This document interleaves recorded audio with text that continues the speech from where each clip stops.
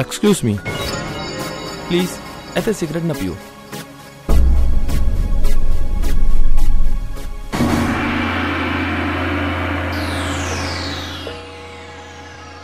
ਤੇਰੇ ਕਿਉਂ 12 ਵੱਜਣ ਡਏ ਨੇ ਸਰਦਾਰ ਹਾਂ ਹਾਂ ਹਾਂ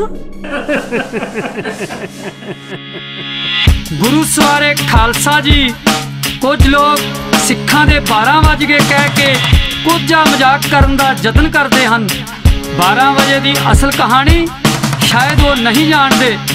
ਜਦੋਂ ਅਹਿਮਦ ਸ਼ਾਹ ਅਬਦਾਲੀ ਹਿੰਦੁਸਤਾਨ ਦੀ ਧਨ ਦੌਲਤ ਦੇ ਨਾਲ ਨਾਲ 2200 ਹਿੰਦੂ ਲੜਕੀਆਂ ਨੂੰ ਬੰਦੀ ਬਣਾ ਕੇ ਲੈ ਜਾ ਰਿਹਾ ਸੀ, ਜੋ ਗਜਨੀ ਦੇ ਬਾਜ਼ਾਰਾਂ ਵਿੱਚ ਟਕੇ ਟਕੇ ਤੇ ਵਿਕਣੀਆਂ ਸਨ। ਖਾਲਸੇ ਨੇ 12 ਵਜੇ ਹੱਲਾ ਬੋਲ ਕੇ ਜਿਵੇਂ ਇਹਨਾਂ ਲੜਕੀਆਂ ਨੂੰ ਅਬਦਾਲੀ ਦੀ ਕੈਦ ਵਿੱਚੋਂ ਛੁਡਵਾ ਕੇ ਘਰੋਂ ਘਰੀ ਪਹੁੰਚਾਇਆ, ਉਸ ਵੇਲੇ ਦਾ ਸੀਨ ਕਵੀ ਦੀ ਕਲਮ ਨੇ ਹੇ, ਇਉਂ ਬਿਆਨ ਕੀਤਾ ਹੈ। ਬੱਚੇ ਜਦੋਂ ਸਿੰਘਾਂ ਤੇ ਬਾਰਾਂ, ਚੱਕੀਆਂ ਤੇ ਗਾਂ ਤੇ ਤਲਵਾਰਾਂ ਬੱਚੇ ਜਦੋਂ ਸਿੰਘਾਂ ਤੇ ਬਾਰਾਂ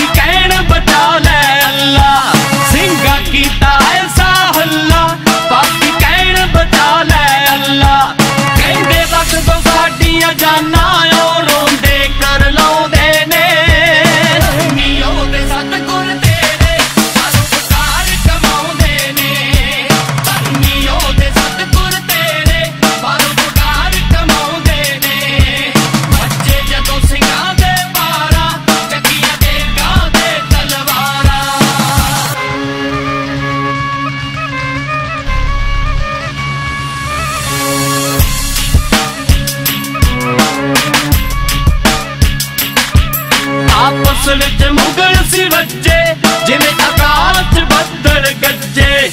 ਆਪੋ ਵਿੱਚ ਮੁਗਲ ਸੀ ਵੱਜੇ, ਜਿਵੇਂ ਆਕਾਸ਼ ਬੱਦਲ